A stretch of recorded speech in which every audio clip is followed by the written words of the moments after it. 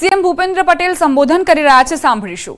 તથા કેન્દ્રીય મંત્રી Shri C R Patilji, Bharatiya Janata party Gujarat પ્રદેશના અમારા સાથી મંત્રી શ્રી રાઘવજીભાઈ પટેલ, શ્રી ભાનુબેન બાવરિયા પૂર્વ મુખ્યમંત્રી તથા પંજાબના પ્રભારી શ્રી વિજયભાઈ રૂપાણી, કર્ણાટકના પૂર્વ રાજ્યપાલ તથા વરિષ્ઠ આગેવાન શ્રી વજુભાઈ વાળા, મેયર શ્રીમતી નયનાબેન પઢેરિયા પૂર્વ કેન્દ્રીય મંત્રી તથા સાંસદ શ્રી પરસોત્તમભાઈ રૂપાલા સાંસદ શ્રી વિનોદભાઈ ચાવડા રાજ્યસભાના સાંસદ શ્રી રામભાઈ મોકરિયા કેસરી દેવસિંહ ઝાલા મારા સાથી ધારાસભ્ય Shri Udaybhai Kangad Shri Rameshbhai Tilala Shrimati doctor Darshitaben Shah deputy mayor Shri Narendrasinh Jadeja standing chairman Shri Jayminbhai Thakar પક્ષના નેતા શ્રી લીલુબેન જાદવ દંડક શ્રી મનીષાબેન રાદડિયા રાડિયા પ્રદેશ યુવા મોરચાના પ્રમુખ શ્રી ડોક્ટર પ્રશાંતભાઈ કોરાટ પ્રદેશ ઉપાધ્યક્ષ શ્રી ભરતભાઈ બોગરા પૂર્વ સાંસદ શ્રી મોહનભાઈ કુંડરિયા સૌ મંચસ્થ મહાનુભાવો ચૂંટાયેલા જનપ્રતિનિધિ સંગઠનના પદાધિકારીઓ ઉપસ્થિત સૌ નાગરિક ભાઈઓ બહેનો પ્રેસ મીડિયાના મિત્રો સૌને મારા નમસ્કાર. વિશ્વના સૌથી લોકપ્રિય નેતા અને ભારતના યશસ્વી વડાપ્રધાન શ્રી નરેન્દ્રભાઈ મોદીએ સ્વાતંત્ર્ય પર્વને યાદગાર જન આંદોલન બનાવવા માટે હર ઘર તિરંગા અભિયાનને પ્રેરણા આપી છે. હર ઘર તિરંગા અભિયાન રાષ્ટ્રધ્વજની ગરિમાને જાળવી રાખવાનો અનેરો ઉત્સવ બની ગયો છે. તેમના માર્ગદર્શનમાં આપણે આ વર્ષે પણ હર ઘર તિરંગા અભિયાન અને તિરંગા યાત્રા યોજવાનું આયોજન કર્યું. અને તેનો શુભારંભ આજથી રાજકોટથી થઈ રહ્યો છે. દરેક ભારતીય માટે શાન અને ગૌરવના પ્રતીક આપણા તિરંગા પ્રત્યે આદર, સન્માન જાગે તે માટે આ તિરંગા યાત્રા યોજાય છે. વડાપ્રધાન શ્રી સ્પષ્ટપણે માને છે, તિરંગો લોકોને એક સાથે લાવે છે. આપણને સૌને પ્રોત્સાહિત કરવા રાષ્ટ્રીય અધ્યક્ષ માન્ય કેન્દ્રીય મંત્રી શ્રી જેપી નડ્ડાજી અને પ્રદેશના અધ્યક્ષ અને માન્ય મંત્રી શ્રી સી આર પાટીલજી ખાસ જોડાયા છે. વડાપ્રધાનશ્રીની પ્રેરણાથી આઝાદી કા અમૃત મહોત્સવ, મેરી મિટ્ટી મેરા દેશ અને હર ઘર તિરંગા જેવા કાર્યક્રમોએ નેશન ફર્સ્ટની ભાવનાથી નિશ્ચિત સફળતા મેળવી છે. આગામી દિવસોમાં પંદરમી ઓગસ્ટે આપણે સ્વતંત્રતા પર્વ ઉજવવાના છીએ. તે પૂર્વે જન જનમાં રાષ્ટ્રભક્તિ, દેશ પ્રેમ વધુ બળવત્તર કરવા આ હર ઘર તિરંગા અભિયાન વડાપ્રધાનશ્રીની પ્રેરણાથી યોજાયું છે. દેશને સ્વતંત્રતા, સ્વરાજ અપાવવામાં અનન્ય ભૂમિકા નિભાવી હતી એવા ગુજરાતના બે સપૂત, ગાંધી બાપુ અને લોખંડી પુરુષ સરદાર પટેલ બંનેનું સ્મરણ કરીને તેમને વંદન કરું છું. આ મહાપુરુષો આપણની રાષ્ટ્રીય ચેતનાજનક અને રાષ્ટ્ર સેવાની ભાવનાના પ્રેરક છે. વર્તમાન સમયે ગુજરાતના બે સપૂત આદરણીય નરેન્દ્રભાઈ મોદી સાહેબ અને બાહોશ ગૃહમંત્રી શ્રી અમિતભાઈ શાહ દેશ, દેશને સુરાજ્ય સાથે વિકાસ પથ ઉપર આગળ ધપાવી રહ્યા છે. હર ઘર તિરંગાને યાદગાર જન આંદોલન બનાવવાની અપેક્ષા સાથે સૌને સ્વતંત્રતા પર્વની ખૂબ ખૂબ શુભેચ્છાઓ પાઠવી વિરમું છું. ભારત માતા કી જય. વંદે માતરમ. જય જય ગરવી ગુજરાત. આદરણીય ભૂપેન્દ્રભાઈ પટેલ સાહેબ, આપનો આભાર વ્યક્ત કરીએ છીએ અને હવે વિનંતી કરીએ છીએ કેન્દ્રીય આરોગ્ય મંત્રી અને રાષ્ટ્રીય બીજેપી અધ્યક્ષ શ્રી જેપી નડ્ડા સાહેબ, આપ કૃપયા સામે દો શબ્દ કહે શ્રી નડ્ડા સાહેબ. આપણે સૌ ભારત માતાનો જય જયકાર બોલાવીશું. ભારત માતા કી!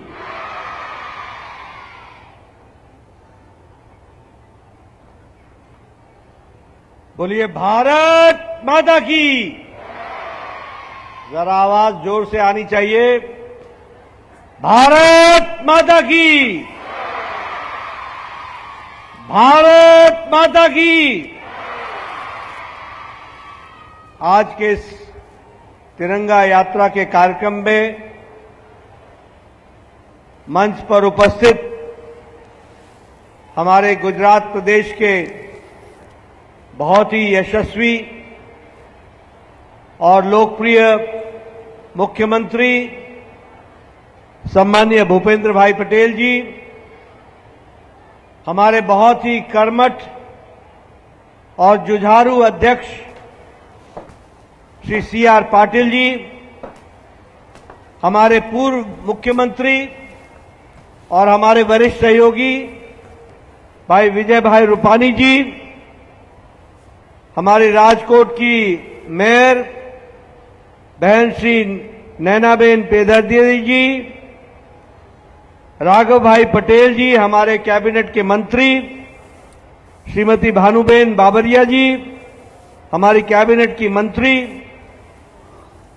लोकसभा और राज्यसभा में मेरे साथी, श्री पुरुषोत्तम भाई रूपाला जी, राज्यसभा में मेरे साथी राम भाई मोकरिया जी लोकसभा में, संसद में मेरे साथी विनोद चावड़ा जी, मुकेश दोषी जी, मोहन भाई कुंडारिया जी, हमारे पूर्व सांसद उदय भाई जी, रमेश भाई तिलाला जी, दर्शित, डॉक्टर दर्शिता शाह जी, भारत बोगरा जी, श्रीमती बीनाबे आचार्य जी, नरेंद्र सिंह जडेजा जी अश्विनी भाई मुलैया जी, हमारे वीरेंद्र शाह झाला जी, डॉक्टर माधव दवे जी, सभी मंच पर विराजमान वरिष्ठ नेतृत्व, हमारे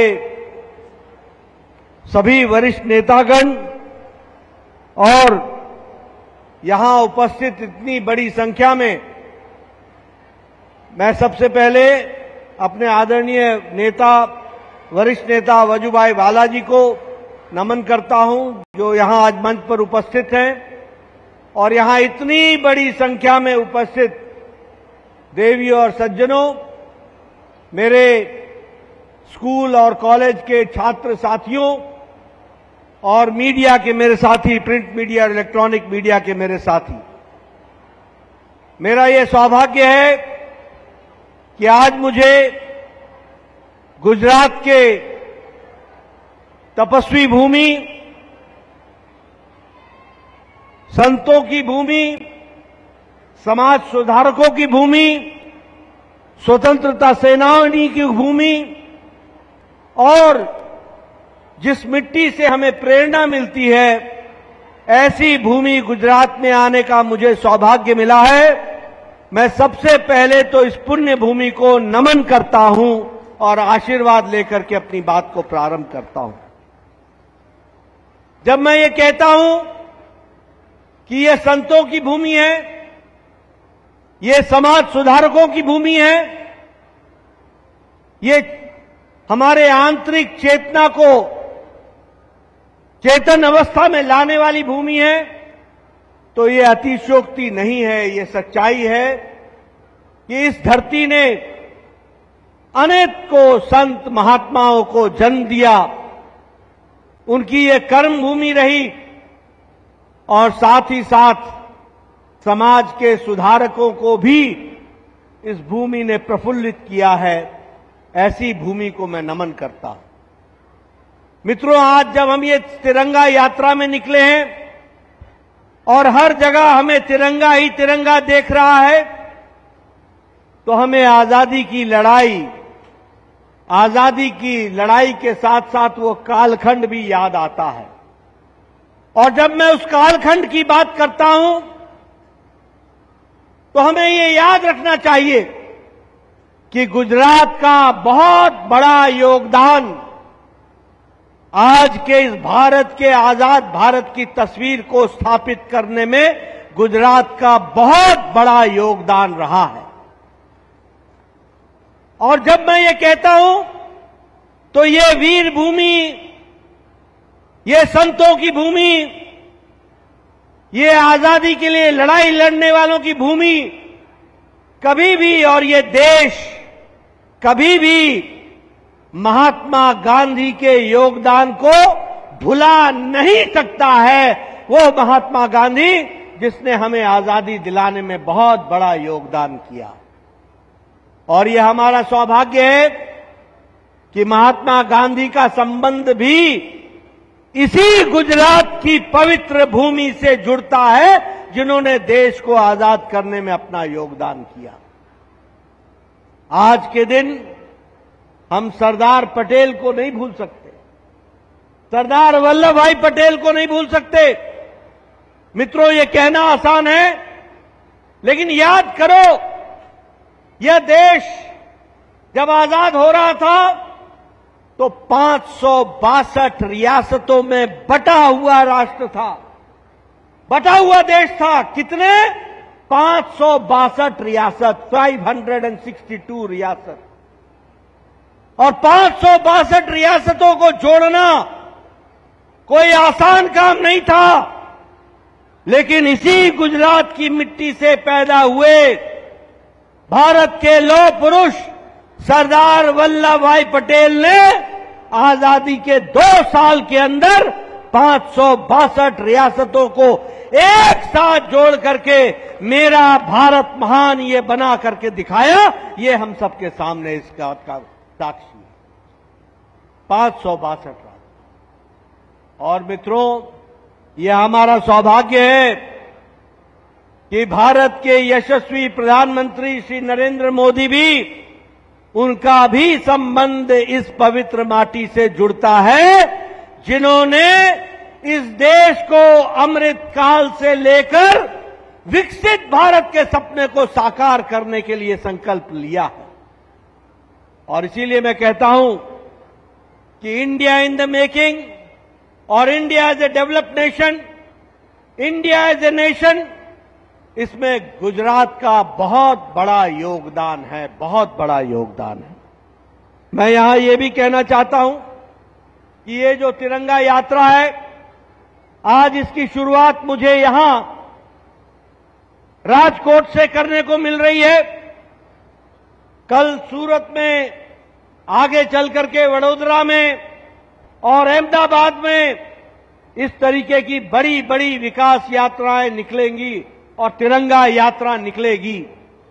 लेकिन ये तिरंगा यात्रा तालुक तक पहुंचेगी, मंडल तक पहुंचेगी, हर तालुक में जाएगी और हमारा तिरंगा यात्रा का क्रम 15 अगस्त तक चलता रहेगा। और तिरंगा, हर घर तिरंगा इस कार्यक्रम को हम सफल बनाएँगे।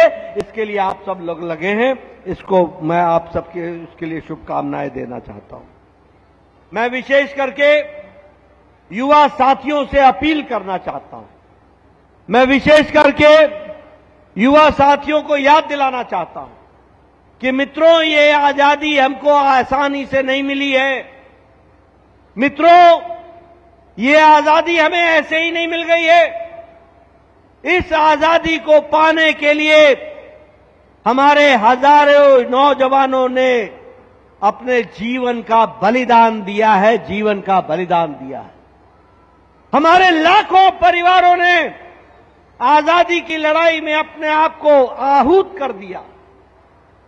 हमारे लाखों परिवारों ने न सुख देखा, न चैन देखी न दिन देखा, न रात देखी, सिर्फ़ अपने भारत को, माँ भारती को आज़ादी दिलाने के लिए उन लोगों ने हर तरीके से योगदान दिया है। और इसी कारण से आज हमारा भारत आज़ाद हुआ है। आज ये समय है, आज ये मौका है। मैं देख रहा था कि गांधी जी के रूप में, सरदार पटेल के रूप में कुछ लोग यहाँ पर आए हैं। मैं उनको भी नमन करता हूँ जो उनके माध्यम से लोग गांधी जी को याद करेंगे, सरदार पटेल को याद करेंगे। अपने इतिहास को याद करेंगे। किस तरीके से देशभक्ति के साथ ओत प्रोत होकर के इस देश को आज़ाद दिला, आज़ादी दिलाने के लिए लोगों ने काम किया। लोगों ने अपना दिन रात एक करके अंग्रेज़ों के छक्के छुड़ाए और अंग्रेज़ों को मजबूर किया कि वह भारत छोड़े। आज जब मैं यहाँ पर आया हूँ तो मैं 9 अगस्त जो कल बीता है, उसको भी भारत भूल नहीं सकता। जब महात्मा गांधी ने कहा था, क्विट इंडिया मूवमेंट, भारत छोड़ो आंदोलन। ये कल 9 अगस्त का दिन, वो पवित्र दिन, जिस दिन महात्मा गांधी ने कहा, भारत छोड़ो। और ये नारा ये नारा नहीं रहा। ये घर घर की आवाज़ बन गई और घर घर ने इस बात को, अंग्रेज़ों को चुनौती दी कि भारत हमारा देश है और भारत अंग्रेज़ों को छोड़ना होगा और भारत छोड़ो आंदोलन चला था। एक के बाद एक आंदोलन चले और मैं बड़े गर्व के साथ ये कहना चाहता हूँ, अगर भारत छोड़ो आंदोलन नहीं हुआ होता तो सन सैतालीस को 15 अगस्त को आज़ादी नहीं होती। और 15 अगस्त का दिन नहीं होता ये आजादी मिलने में भारत छोड़ो आंदोलन का बहुत बड़ा योगदान है બુલેટિનમાં રોકાઈશું એક નાનકડા વિરામ માટે આપ જોતા રહો ન્યૂઝ એટીન ગુજરાતી